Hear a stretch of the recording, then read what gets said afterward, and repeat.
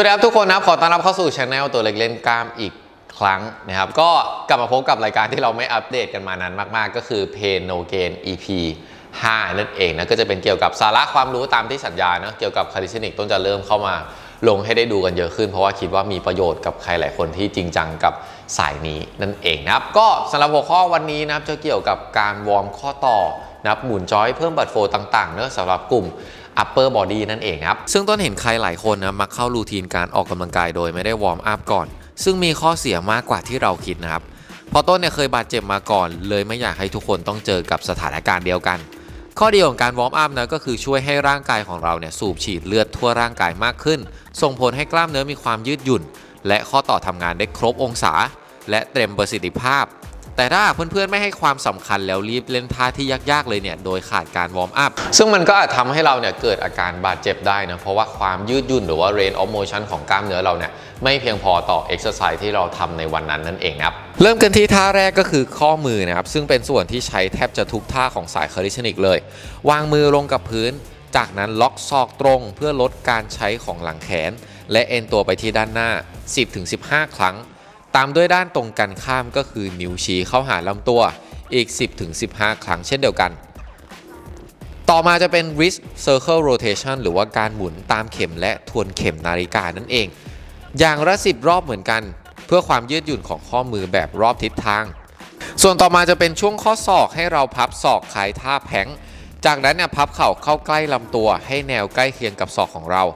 และดันศอกขึ้นให้สุด และเชิดกำปั้นขึ้นเพื่อวอร์มศอกและข้อมือไปในตัว 10-15 ครั้งศอกเนี่ยเป็นอีกส่วนที่สายคาริชนิกใช้ค่อนข้างเยอะ ไม่ว่าจะเป็นท่าดิฟพุชอัพหรือว่าพูอัพก็ใช้หมดเลยนะครับ จึงเป็นส่วนที่สำคัญมากๆ ต่อมาท่าที่2นี่ก็คือส่วนของ bicep นะให้เราเอนตัวลงกับพื้น นั่งพับเข่าวางแขนเส้นตรงหนึ่งข้าง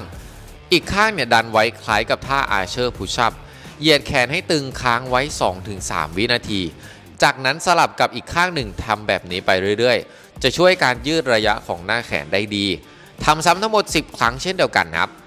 สวัสดีครับทุกคนนะครับตอนนี้ช่อง TLK มีระบบ Membership พิเศษแล้วนะครับ สายขี้เกียจคิดโปรแกรมเองนะครับ ถูกใจสิ่งนี้แน่นอนนะครับ เพียง 100 บาทต่อเดือนนะเพื่อนๆจะเข้าถึงคลิปนะครับ ออกกำลังกายที่ต้นเนี่ยใช้พัฒนาตัวเองตั้งแต่ตอนแรกนะและสอนการจัดตารางนะแบบครบจบในที่เดียวนะครับ สามารถเปิดและทำตามในคลิปได้เลยนะมือใหม่เลเวลศูนย์นะครับสามารถเริ่มได้เลยนะครับพร้อมสิทธิ์เข้ากลุ่มไลน์พิเศษนะครับที่มีเพื่อนมากกว่า 700 คน และมีคนหุ่นดีไปเยอะมากๆนะครับสมัครได้ที่ปุ่มด้านหน้าช่องหรือว่าลิงก์ใน description ของคลิปได้เลยนะครับ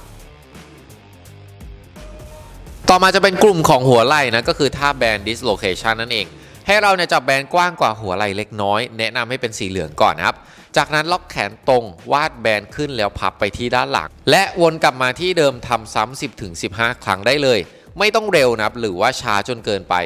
หากเพื่อนๆรู้สึกง่ายเกินไปเนี่ยอยากเพิ่มความยากสามารถปรับด้วยการจับแบนให้แคบขึ้นได้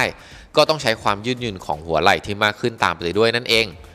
ต่อมาจะเป็นกลุ่ม external หรือว่า internal rotation เนื้อกับการทำงานของสะบักและไหล่โดยรวมคล้องแบนกับเสาแบบนี้นะ จากนั้นเดินออกห่างจากระยะแบนที่ตึงพอดี จากนั้นตั้งศอกขึ้นพร้อมกับดึงแบนขึ้นในแนวตั้ง อย่าลืมกดไหล่ลงเพื่อลดการใช้งานของบ่าเราด้วยนะครับ จากนั้นกดลงโดยล็อกศอกเอาไว้ที่เดิมก็จะเป็นการวอร์มของกลุ่ม external แล้วก็ internal ไปพร้อมกันนั่นเอง โดยสามารถวอร์มได้ทั้งมุมตั้งฉากและมุมขนานตัวนะครับทำซ้ำ10ถึง15 ครั้งต่อ 1 ข้างนะครับ ความสำคัญของ movement กลุ่มนี้ก็คือสาย calisthenics เนี่ยมักจะเล่นกลุ่ม internal ซะส่วนมาก โดยที่เราไม่รู้ตัวเนาะอย่างเช่นท่า dip push up หรือว่า muscle up สามท่านี้เนี่ยล้วนเป็นกลุ่ม internal หมดเลย ส่วนกลุ่ม external เนี่ยจะเป็นพวก incline pull up ต่าง ๆ ที่ต้นคิดว่ามือใหม่เนี่ยหลายคนอาจจะไม่ค่อยเล่นนะครับ แล้วก็เล่นไม่สมดุลกัน การวอร์มด้วย band external หรือว่า internal rotation จึงสำคัญมาก ๆ นั่นเอง และนี่ก็เป็นท่าวอร์มอัพเบื้องต้นเนะที่สำคัญสำหรับการวอร์มอัพและจะทำให้เพื่อนๆเนี่ยสามารถออกกำลังกายได้มีประสิทธิภาพมากยิ่งขึ้นนั่นเอง แต่สำหรับใครนะครับที่เล่นในขั้น advanced แล้วนะอย่างต้นเองหรือว่าใครเพื่อนๆ หรือว่าอะไรเงี้ยก็แล้วแต่นะเริ่มมี exercise ที่ยากมากขึ้นเนี่ยก็ต้องวอร์มอัพที่เยอะกว่านี้นะอาจจะใส่ตัว body weight exercise เข้าไปด้วย อย่างเช่นตัว handstand push up อะไรเงี้ยก็สามารถวอร์มอัพด้วยท่า push up เพิ่มเติมเข้าไปด้วยนะคล้ายๆ กับหลักการเดียวกับ weight training นั่นแหละก็คือเราจะใส่ load หรือว่าน้ำหนักที่น้อยก่อนแล้วค่อยไล่ระดับไป เพื่อให้กล้ามเนื้อเนี่ยมีความเขาเรียกว่าอุ่นตัวนะครับแล้วก็พร้อมสำหรับทำท่าหนักๆได้นั่นเองนะครับก็สำหรับวันนี้นะก็เท่านี้นะสำหรับท่าวอร์มอัพเนอะก็อย่าลืมเอาไปใช้กันต้นคิดว่ามีประโยชน์กับใครหลายคน